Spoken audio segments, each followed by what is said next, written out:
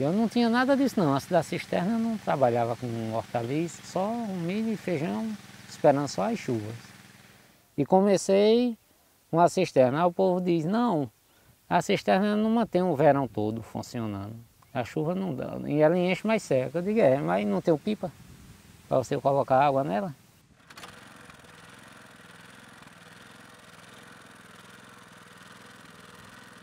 Eu avaliava o que, quanto eu ia gastar com pipa, aí plantava os canteirinhos.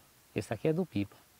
Aí plantava o meu que era independente, que eu sabia que aquela produção ia ser minha e aquela ali era da cisterna, para manter ela, e ela me manter. E assim eu consegui, fui fazendo até... Muita gente achava interessante porque quem tem a cisterna não acreditava que ela produzisse.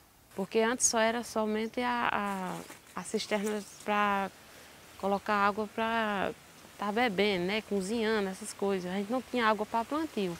E depois que construiu essa cisterna, aí veio outras tecnologias, foi o barreiro trincheira, é, a, a, questão do, do bioágua mesmo, que veio tudo fortalecendo a questão do plantio. E quando essas tecnologias aí, elas são reservatório de água, né? O bioágua, a cisterna calçadão. E aí foi quando a gente começou a melhorar, fazer o plantio no seu quintal, que antes o quintal era um terreiro livre, né? Aí começou a, ter essa invenção desse quintal produtivo, né? E a cisterna, ela é o carro-chefe de tudo, porque sem a cisterna, é claro que nós jamais íamos fazer o trabalho que a gente faz. E a gente começou a é, fazer a horta na escola, construímos horta, logo mais a, a a Escola de Formação Paulo de Tarso trouxe o, o viveiro de mudas para a gente, de mudas é, nativas.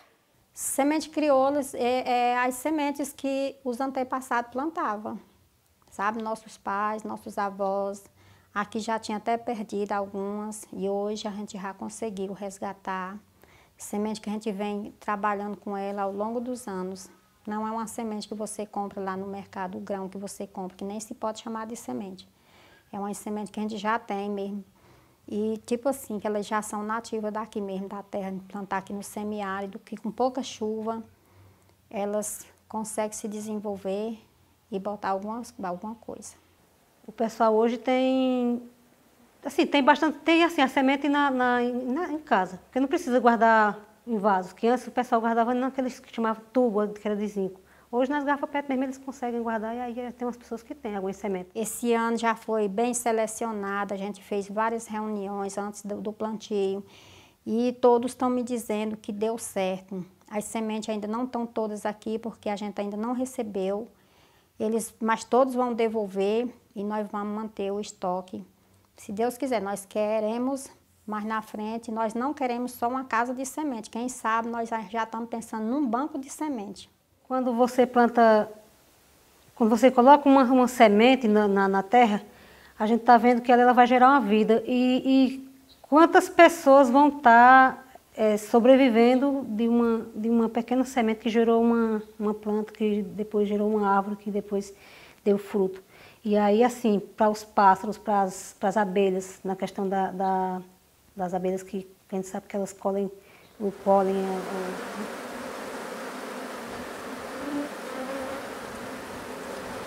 O, melzinho aqui, ó. É, por exemplo, a questão da, da, da apicultura é, um, é uma atividade economicamente viável né, e, e é rentável e também é uma atividade que ela vai de acordo com os conceitos ambientais, né, que você, cuidando do meio ambiente, você também vai ter florada e, consequentemente, você vai ter produção de mel que vai, que vai gerar renda. A gente trabalha com comércio justo e solidário. É, a gente está elencado no trabalho é, dentro do processo orgânico, agroecológico, então desde que a gente se preocupa com quem produz e com quem recebe o produto. Então não é porque a gente vai vender o produto, né, que a gente não, não conhece a pessoa que vai receber esse produto, que ele não merece receber um produto de qualidade. E também pelo fato de que nós, a essência da Coppercook, até hoje, né, nós produzimos esse produto e nós nos alimentamos desse produto. A gente mesmo tirava o imbu, a gente mesmo ia processar o imbu. Hoje nós quatro ia tirar o imbu, amanhã nós quatro ia trabalhar. E aí no outro dia era o mesmo jeito e ficava assim.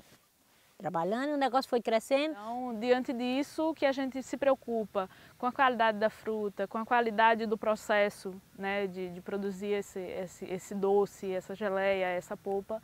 Então, por isso que é tão cuidadoso, por isso que você ainda enxerga é, essa forma artesanal de produzir esse, esse produto. Esse trabalho da cooperativa, ele, tanta gente aprendeu a trabalhar e aprendeu também com a mente.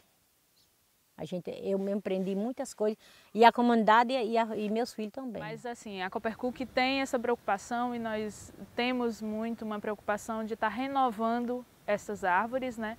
ou um pouco ajudando a caatinga a se renovar. É, a gente tem um viveiro de reprodução dessas mudas, né, que a gente está fazendo a distribuição para os agricultores para poder plantar nas suas propriedades, nas suas áreas, é, para reproduzir né, essa fruta que é tão rica, que traz é, muito sucesso, que traz muita, muita é, sabedoria para todos nós. Então a gente quer continuar fazendo isso durante muito tempo.